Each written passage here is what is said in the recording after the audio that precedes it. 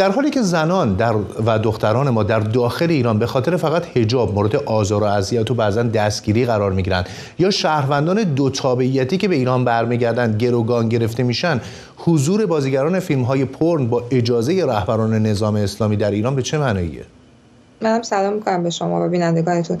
واقعیتش من فکر می‌کنم این دفعه این نمایش در واقع پروپاگاندای انتخاباتی رو باید کمی ویژه تر متناسب با شرایط کنونی جمهوری اسلامی ببینیمش. از این جهت دارم اینو میگم که فکر می‌کنم کمتر ایرانی هستش که با این نمایش پروپاگاندا همونطور که شما گفتید با آوردن بازیگران پرن با در واقع نمایش های عجیب که کاملا در تضاد داره قرار می‌گیره با اون سیاست هایی که دارن اجرا می‌کنن به شدت علیه آزادی در واقع حقوق شهروندی مردم ایران. با این نمایش ها نزدیک میشن به دوران انتخابات. کم نبوده در واقع دیدن این پترن جمهوری اسلامی. این, این روشش بود همیشه برای در واقع نزدیک شدن به انتخابات. اما همیشه این کار انجام می‌شد برای جذب بخشی از مشارکتی که می‌کرد در قشر به اصطلاح خاکستری ممکنه که اون رو به دست بیاره. باور من این هستش که الان وضعیت کاملا متفاوته.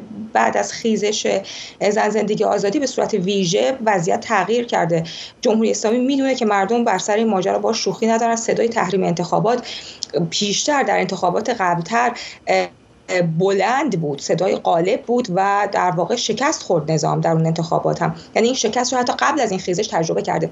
بنابراین من باورم این نیستش که این نمایش در واقع خوراک داخلی داره. خیلی ساده بخوام این رو بگم.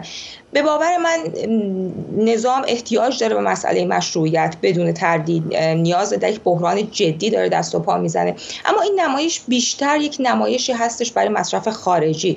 برای اینکه گیج بشه مخاطب خارجی که رصد می‌کرد وضعیت رو بعد از خیزش زن زندگی آزادی در اینکه چه اتفاقی داره در داخل میفته وگرنه در داخل وضعیت کاملا به باور من مشخص مردم در سوی تحریم ایستادن با جدیت وایستادن.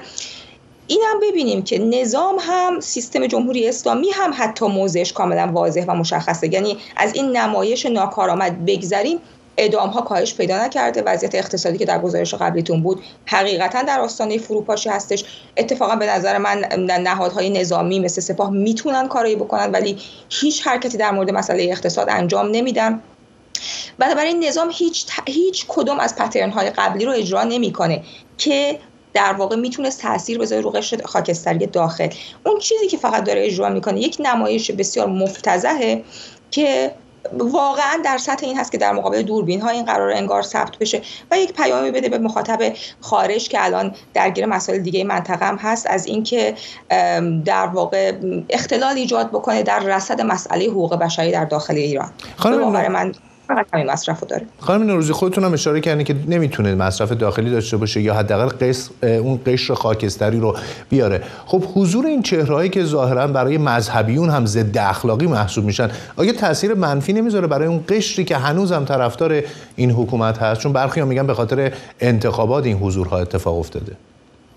من فکر می‌کنم اون قشری که شما دارید بهش اشاره می‌کنید بیشتر از هر کسی.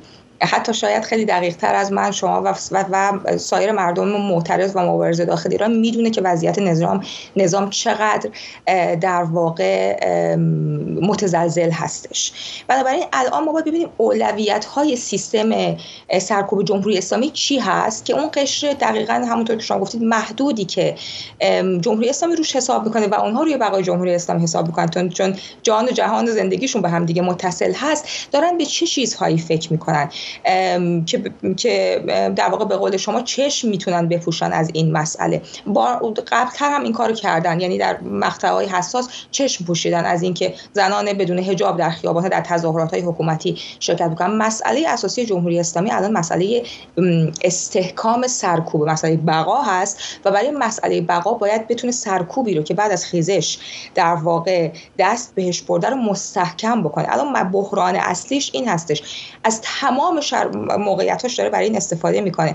از در واقع بحران ایجاد کردن در منطقه داره برای این ماجرا. برای در واقع تثبیت سرکوب داخل استفاده می‌کنه. هیچ به نظر من نگرانی هم در واقع برای انتخابات نداره. نه به این معنا که براش مهم نیست. بهش آسیب می‌زنه بهش مشروعیتش بدون تردید آسیب می‌زنه. امیدی نداره که اونجا بتونه کاری بکنه. بنابراین الان مسائل دیگه مهم اون قشر محدودم می‌دونن چه مسئله الان برای سیستم مهم هست و چشم میپوشن روی در واقع تمام این مسحکه که راه انداخته جمهوری اسلامی.